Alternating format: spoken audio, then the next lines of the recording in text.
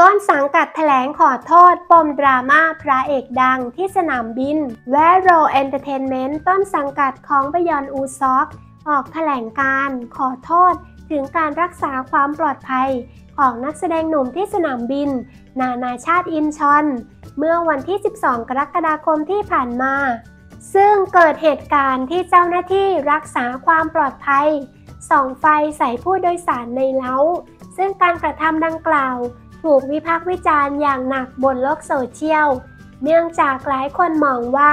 เป็นการกระทำที่เกินกว่าเหตุ และสร้างความไม่สะดวกกับผู้โดยสารที่ไม่เกี่ยวข้อง แม้ทางฝั่งบริษัทรักษาความปลอดภัย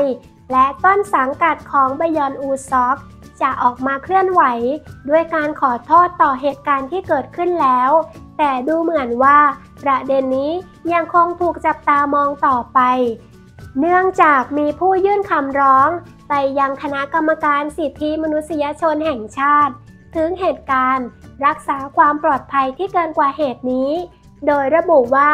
การกระทำของเจ้าหน้าที่ รักษาความปลอดภัย ไม่ว่าจะควบคุมประตูทางเข้าเป็นระยะเวลา 10 นาที การตรวจสอบตั๋วเครื่องบินของผู้โดยสารคนอื่น และส่องไฟใส่ผู้โดยสารเป็นการละเมิดสิทธิมนุษยชน